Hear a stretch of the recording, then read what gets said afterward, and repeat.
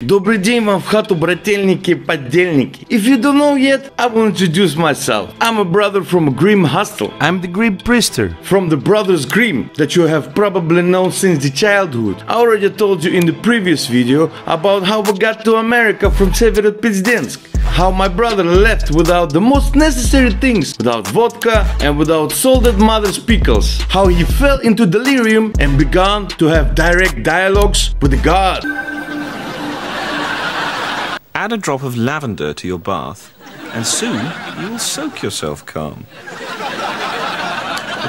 One day, God put his hand on his sweaty forehead, announced him as a thief in the law, and sent him a link on a Facebook. Since then, several years have passed. My brother became famous, bought the scars from Louis Vuitton, started again a regular alcohol consumption, 6 марта за м, ноябрьскую месяц. and everything would be fine if he wouldn't constantly spoke quotes.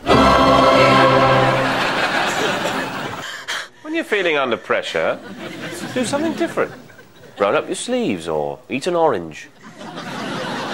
For example, if you ask him the simple question, What are you going to do today? He answers, I'm blessed, and today I will focus on all what is good in my life.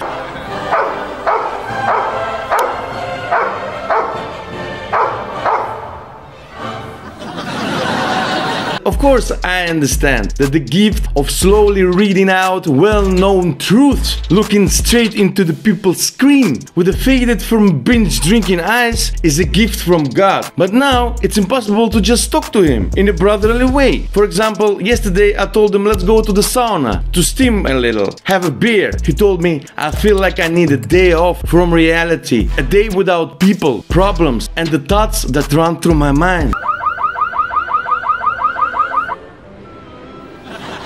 And when I came home drunk the other day, he suddenly tells me this falling down is an accident, but staying down is a fucking choice. First, I wanted to punch him in the face, but here you go again. He tells me another quote Forgive me if I act like I don't need anyone. I went through a lot of things alone.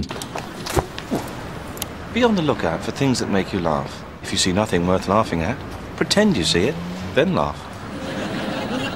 It comes to the point of absurdity. I asked him to give me a remote controller, but he was like, Life has no remote. Get up and change it yourself. Apparently, predicting in advance what emotions he can cause in others. He wrote on the door to his bedroom this When you're angry, be silent. It is especially difficult for his wife in Severodpizdensk. She cannot understand what he means by saying, If someone is stupid enough to walk away from you, be smart enough to let them leave. Now I pray to the same God that he finally set Andrusha up. And although I, unlike my brother, did not get drunk until psychosis, my quotes too are taken from all available sources, are presented as my own conclusions, and sound no less convincing. But for some reason, my YouTube channel so far consists only of my friends from my childhood and views only from my mom. And of course, the same Andrusha brother himself. Probably he is blessed. What consumes your mind controls your life.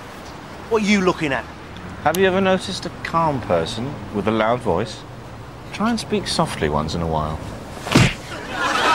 Thanks a lot for watching. Like if you like it, subscribe, and see you in the next episode. Давай.